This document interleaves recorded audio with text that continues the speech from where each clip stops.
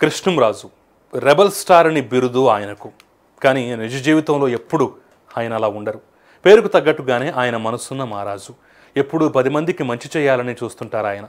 ఇక తిండి విషయానికి వస్తే ఆయన భోజన ప్రియుడు.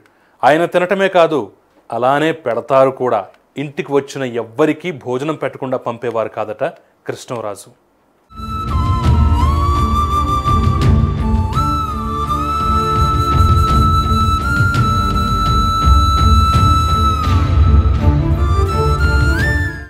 కృష్ణరాజు తినటమే కాదు చాలా చక్కగా కూడా వంట చేస్తారట కూడా. ఇక నాన్ వెజ్ అంటే ఆయనకు చాలా ఇష్టమని తెగ తింటారని ఒక ఇంటర్వ్యూలో చెప్పారు కృష్ణరాజు. తినటమే కాకుండా దాన్ని అరిగించుకునే శక్తి కూడా ఉందని దానికి తగ్గట్లుగానే ఎక్సర్సైజ్ చేస్తానని చెప్పారు ఆయన.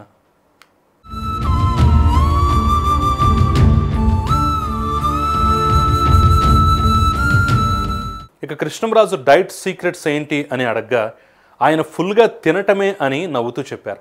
ఏదో ఒక్క కూర వండితే ఒప్పుకోనని వచ్చిన వ్యక్తి ఏం కావాలన్నా ఉండేలాగా చాలా వెరైటీస్ చేపిస్తానని ఒక ఇంటర్వ్యూలో చెప్పారు కృష్ణరాజు.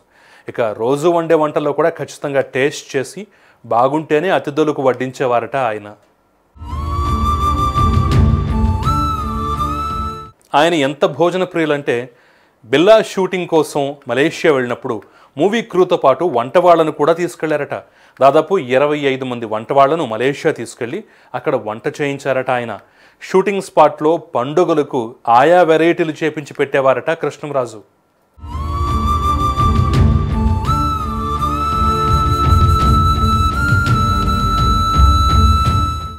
రాజుల వంశంలో ఇంటికి వచ్చిన వారికి ఖచ్చితంగా భోజనం పెడతారని అలానే ఇక్కడ కూడా తన ఇంట్లో ఎప్పుడు అందరికీ భోజనం పెట్టి పంపుతానని అన్నారు. ఇక పిల్లలకైతే తన చేత్తోనే వండి వడ్డించేవాళ్ళని కృష్ణరాజు భార్య చెప్పారు. నిజానికి చేపల కూర ఎలా చేయాలో తనకు రాజుగారే నేర్పించారని ఆమె ఒక ఇంటర్వ్యూలో చెప్పారు.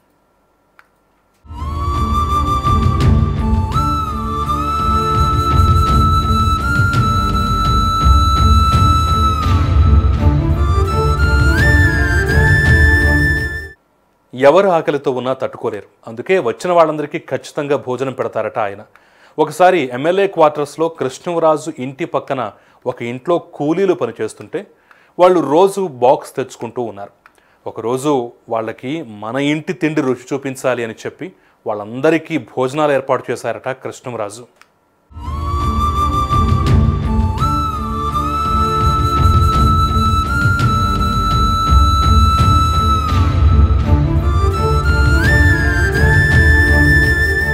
అంతేకాదు చాలామంది జర్నలిస్టులు కూడా కృష్ణంరాజు గొప్పతనం గురించి ఎప్పుడూ చెప్పేవాళ్ళు. కృష్ణంరాజు జర్నలిస్టులకు ఎంతో ప్రాధాన్యత ఇచ్చేవారని ఇంటికి వెళ్ళిన వాళ్ళకి భోజనం పెట్టందే పంపారని అనేవారు. ఇక ఆయన ఇంట్లో భోజనం అంటే భయమేస్తుందని ఎందుకంటే అన్ని రకాల వంటకాలు ఉంటాయని చెప్పేవాళ్ళు చాలామంది.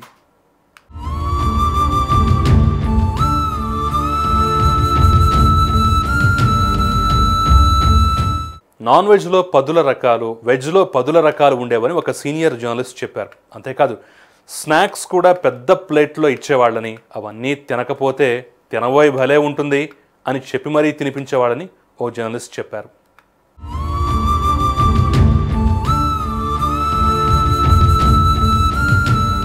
అలాంటిది ఆ మనసున్న మహారాజు ఇప్పుడు తిరిగి రాని లోకాలకు వెళ్ళిపోవడంతో ఆయన అభిమానులు ప్రతి ఒక్కరూ కన్నీటి పర్యంతమవుతున్నారు. కృష్ణంరాజును తలుచుకుని కన్నీరు మున్నీరవుతున్నారు. కృష్ణంరాజు మృతికి పలువురు సంతాపం వ్యక్తం చేస్తున్నారు.